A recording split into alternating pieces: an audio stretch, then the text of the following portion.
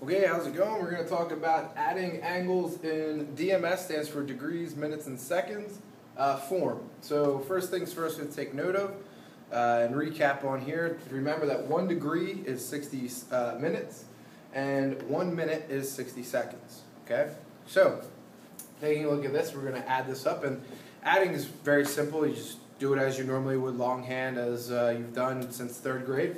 So we go ahead and start adding. So the first things first, I'm going to add each column by itself. I'm not going to carry it over to another column.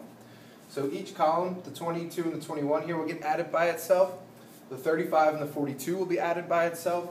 And the 48 and the 20 will be added by itself. So it's like having three simple addition problems. And then we evaluate it at the end and see what our response is. So the other important thing before we start here is you cannot leave minutes or seconds in a value higher than 59. And what I mean by that is you can't have a value like 60, 61, 62, 63, 70, 80s, 90s, okay? So those things you can't have. So you have to do some finagling to change it. So let's go off and get started here.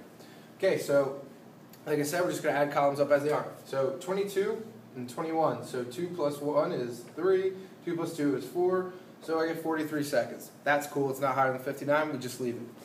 35 and 42, so 5 and 2 makes 7, 3 and 4 makes Seven. So I get 77 minutes, and we'll talk about how we're going to change that in a second, because again, it's higher than 60, so we can't use that.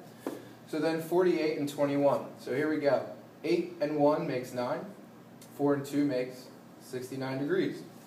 So now we have to come back and evaluate this again. Okay, remember you cannot leave it in higher than 59. So this one right here, okay, there is actually, we're going to come back to this, okay, where 1 degree equals 60 minutes. And the reason I'm going to come back to that one is because my minute one is the one that fails. I don't care about the seconds anymore.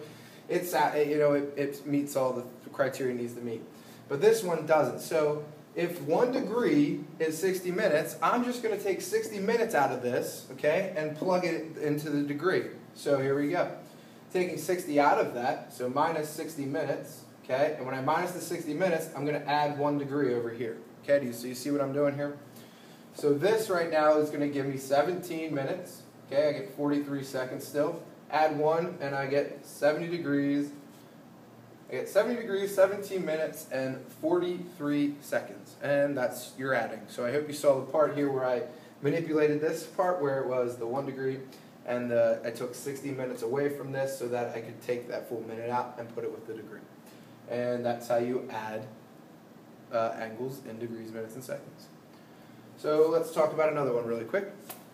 So we'll just go through and, and do. So let me erase this very quickly.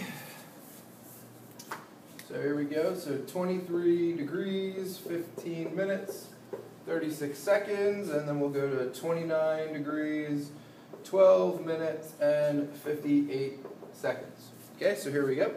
So going through, we're just going to add each column by itself. So 36 and 58 get added together. So 6 and 8 makes 4. 14, carry the 1. I get 4 and 5, which makes 9. So I get 94 seconds. So carrying the 15 and the 12, add them separately. So 15 plus 2 is 7. And 1 and 1 makes 2, so I get 27 minutes.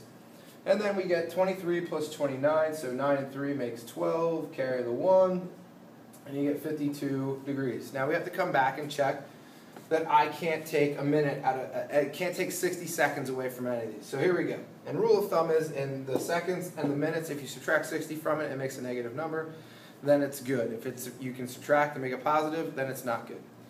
So here we go. Again, this rule of thumb, can't make it higher than, uh, you know, 59. It can be 59, but it can't be 60.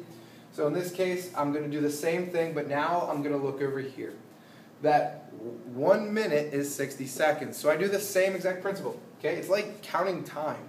So I just take away the 60 seconds, and when I take away the 60 seconds from here, I'm adding one minute to this. Okay, so I'm not changing anything in the value, just changing the look of it.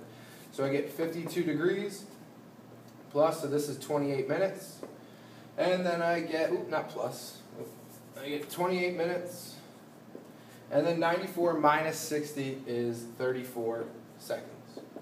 And then my final answer, and that's how you add. So that's how you add your degree minutes seconds. So I hope that helps with anything you're looking to do.